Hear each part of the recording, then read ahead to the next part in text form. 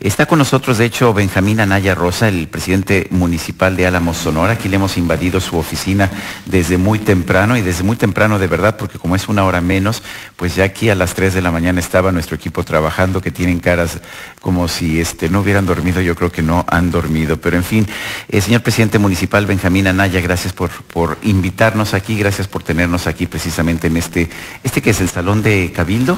Esta es la sala de Cabildo, buenos días primero, Sergio. Esta es la sala de Cabildo que, donde sesionamos y, debatimos los temas aquí del municipio. Bueno, entonces aquí usualmente hay muchos pleitos y en este momento hay un programa de radio. No, pues gracias a Dios y tengo el orgullo de decirlo que eh, desde que iniciamos la labor no han sido pleitos, han sido acuerdos y que, nos han llevado a buen camino hasta ahorita. Cuéntenos cuándo surge este, esta población de, de Álamos, cuándo se funda eh, ¿Y qué papel ha tenido en la historia de Sonora? Bueno, la verdad, eh, los almenses nos sentimos muy orgullosos de, nuestra tradición, de nuestra historia. Álamos se funda en los 1650 y tantos. Eh, la importancia y la trascendencia que ha tenido la población en el estado es que Sonora, nos sentimos orgullosos porque Sonora nace aquí, nace en la población. por ahí en los 1827 eh, Álamos eh, pasa a ser capital del estado occidente que pertenece a la provincia de Sinaloa, Sonora, con una, eh, la verdad, molestia por algunas de los habitantes de Sinaloa, de lo que es hoy Sinaloa, porque la capital estaba en ese momento en, lo que es Cozalá, ahorita también pueblo mágico como nosotros, como, como esta población. Y, ya para los 1830 el Congreso se, se asentó aquí en, en la población eh, y en 1831 se, decide disolver el, eh, Estado y se separa eh, Sonora de Sinaloa, donde Álamos, por, curiosamente, decide pertenecer a Sonora, porque geográficamente estamos en el, entre el límite de Sonora y Sinaloa, pero los alemanes también nos jactamos de, de haber decidido eh, a través de un escrito de los personajes. Sonorenses por decisión. Sonorenses por decisión, no por eh, posición geográfica. Señor, y bueno, es un pueblo mágico, platíquenos cómo se le otorga precisamente esta denominación. En, mil, eh, en el 2005, hablamos por la magia que naturalmente presenta, por su arquitectura, por la calidad de su gente, por la calidez y la, y la hospitalidad eh, de los alamenses, eh, por su magia eh, en sí, recibe el nombramiento y empieza a pertenecer al programa Pueblos Mágicos. Desde entonces, este programa nos ha venido a dar mucho mayor proyección, como lo hace este evento en el que estamos en el marco de este, de este de esta entrevista.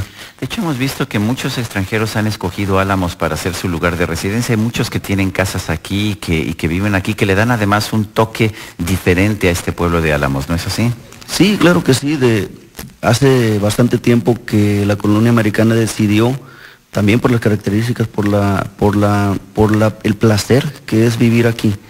Eh, decidieron asentarse aquí hoy, ahora, hoy tenemos como vecinos y los, vemos como tal, como vecinos, como, como, eh, como alamenses, eh, un grupo de, bien nutrido de, norteamericanos eh, que han sido parte importante en el desarrollo también de, la comunidad.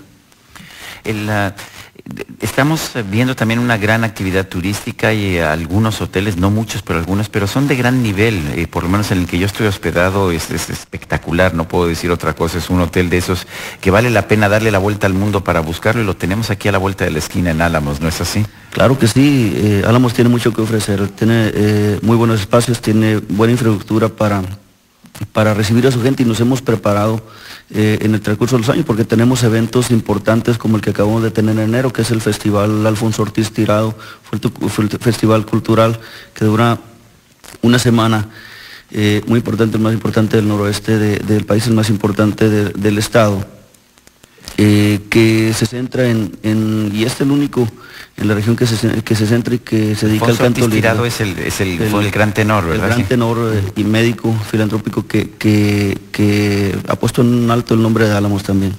Don Benjamín, ¿cómo empieza la reconstrucción de, Álamos? ¿Cómo es que lo tienen tan bonito? Eh, ¿Cómo los ha tratado el clima? Tengo entendido que se han hecho algunas reconstrucciones importantes. Eh, sí, incluso eh, mucho ha tenido que ver también la llegada de, la colonia americana para que el pueblo se mantenga, pero también por ahí en los noventas se tuvo un tuvimos un decreto como, como monumento histórico nacional y eso ha permitido por las leyes federales que, se preserve, que se cuide y además los alamenses, por el orgullo que, sentimos de nuestra ciudad, eh, cuidamos y, hemos tratado de preservar eh, lo que tenemos. De esa manera se ha dado. A, pesar, de, a pesar del clima, ¿no? Eh, el clima es precioso aquí, el, clima es, encantador. La verdad es un, como le digo, es un placer vivir y como dice Sergio, es un placer visitarnos. Eh, la verdad se van a encontrar no nomás con una ciudad preciosa, sino con una gente muy cálida y, muy amable. ¿Es verdad que las mujeres de Álamo son como María Félix, guapas, recias y difíciles? Lo puedo decir por mi casa, sí. claro que sí, la verdad. Eh, sobre todo guapas, más que nada. Y me decía Sergio que ya conoció la casa de la doña. Sí, ya pasé, ya pasé ahí enfrente que que, era difícil, ¿verdad? No, no, no lograron que, regresara aquí este, posteriormente. Fue, y que es toda una historia, hubo hasta un museo que ya no existe, ¿verdad? Sí, sí, eh, la verdad. Eh, no tuve la suerte de que ella regresara, incluso hoy en la Casa de la Cultura hay un proyecto para dedicar un área eh, total para en su memoria, como tenemos el Museo Costumbrista de, Estatal que está aquí, que el tema es en honor al doctor Alfonso Ortiz Tirado, pues la intención es honrar su memoria de esa manera, pero no, nunca, nunca tuvimos la suerte o, la dicha, salvo que, me esté equivocando eh, pero sí eh, tengo entendido que no hemos tenido la suerte de que haya regresado. Sí, así es, eh, tengo entendido que salió pequeña y ya, ya no regresó, pero ahí está su casa, una casa muy bonita como muchas otras que hay aquí en esta comunidad de Álamos. Me, me, dicen, señor presidente municipal, antes de que yo llegara aquí me dijeron, te va a encantar, es uno de los secretos mejor guardados de México, pero pues ya no es tan, ni, tan bien guardado, ¿verdad? Ya mucha gente se está enterando de las bellezas de Álamos. Sí, claro que sí, el, marco de, eventos como este, de importantes, donde vienen personajes eh, con los temas económicos a nivel mundial, nos proyecta en ese sentido y eso es importantísimo para nosotros, para que la gente conozca lo que tenemos, eh, lo, que, lo que podemos ofrecer, lo que pueden obtener aquí de, los elementos de, Álamos en sí. Pero también eventos como el, doctor Alfonso Ortiz Tirado, el festival, eventos que, que vamos a tener el próximo eh, mes de marzo, eh, Festival Internacional de Cine y eventos que, hemos que, tenemos eh, a través del año.